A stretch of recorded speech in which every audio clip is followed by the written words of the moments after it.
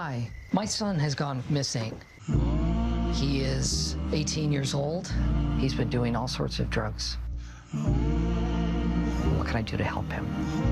I feel like I'm doing well. Yeah, I just need a few extra bucks. Doesn't look like it's working out.